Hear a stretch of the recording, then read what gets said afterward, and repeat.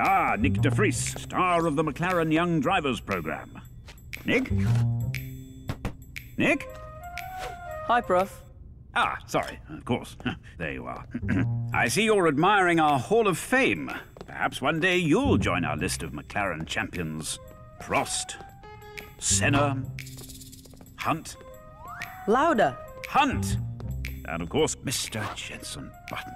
Cool. Can I meet him? Can I? Can I? He's doing some charity work today, so he's not around. But his car is. Whoa. Can I drive it? Can I? Can I? I'm afraid you have to be this high to go on this ride, Nyck. But don't worry, you're going to do something just as exciting. Really? Four thrilling hours of white knuckle driving theory. So the combined effects of the downforce and the DRS will cause a 0.2 deviation from the apex of an average corner. As I can demonstrate with an analysis of one of your last go-kart races. I knew you wouldn't want to miss this, Nyck. Huh?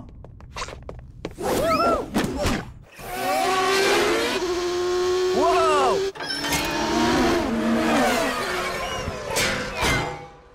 So, Nyck, what do you think you did wrong on this corner?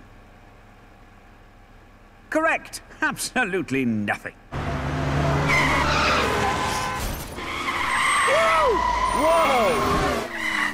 Cheeseburger, please.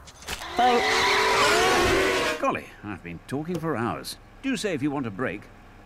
No? Good lad.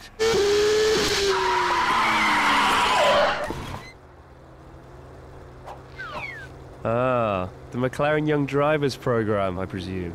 Excuse me, madam. There's something I have to sort out. What do you think, Nyck? Are you cut out to be a McLaren driver? Nyck? Nyck? Sorry, Professor. Just taking everything in. Good lad. For a moment I thought you were miles away. It really is nice to have such a well-behaved student. Ah, Jenson, have you met Nyck de Vries? Yeah, we've run into each other. Nearly. You'd better watch out, Jenson. He'll be driving your car before you know it.